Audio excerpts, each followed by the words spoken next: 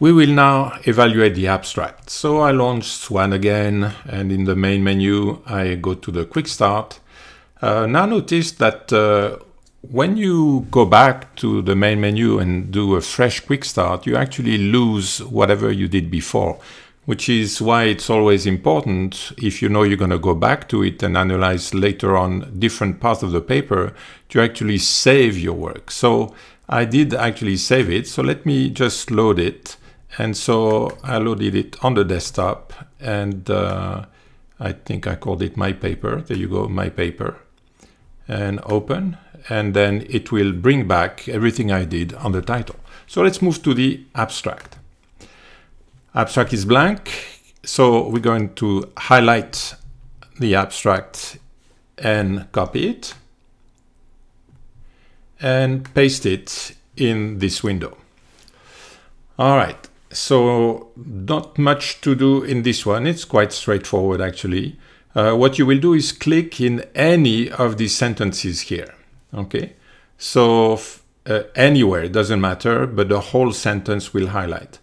Once uh, you click within the sentence, then you have to indicate what is the role of this sentence. And you have one, two, three, four, five different choices here uh, to indicate its role. So in this case, it's important to development. So fine, this is a background, okay? We show a simple method uh, by combining. So that would, that would be the main objective of the research. Uh, the next one, uh, that would be more of the methodology. Uh, this one would be more of a result. And uh, this one is still is the result.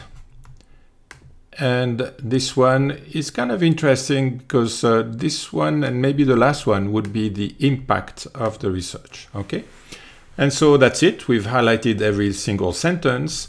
Uh, and the title is still processed. So we're going to start the evaluation, but it's going to do the evaluation of everything altogether, actually the title and the abstract. And you will see why in a minute.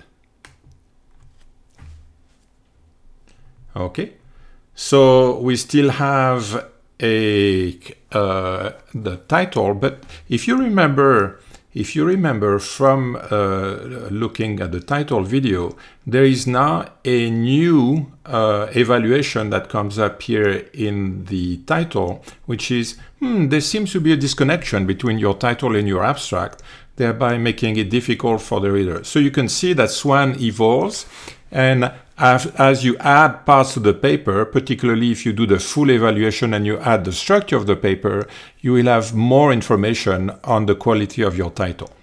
So in this case, it says, well, I found the word micro nano in uh, the title, but I never found these words in the abstract. So if they're that important that they should be in the title, how come they're not in the abstract? Okay, so question for you to think about.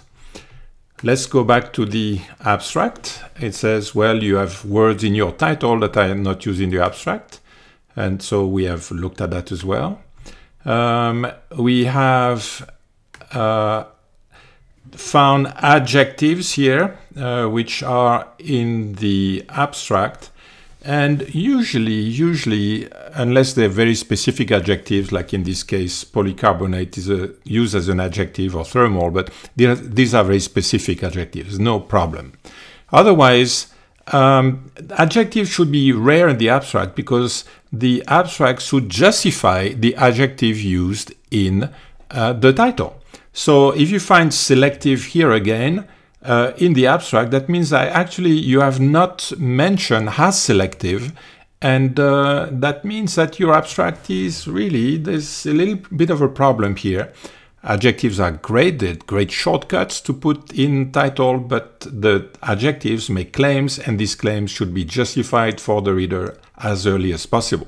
So you would see this kind of problem here in the evaluation of the abstract you have keywords not present in your title. Now this, these are keywords found in the abstract but not found in the title. Swan is, and they appeared at least twice. So Swan is just uh, warning you, mm, if these keywords come back often in your abstract, should they be in the title? I mean, this is really up to you uh, to decide, but Swan just uh, uh highlight potential uh, problems in your title. and uh, no number could be found in your abstract, actually remember when it said selective, um, maybe that we could have given something, maybe numerical, to identify what selective means. So an abstract is usually very precise. Okay.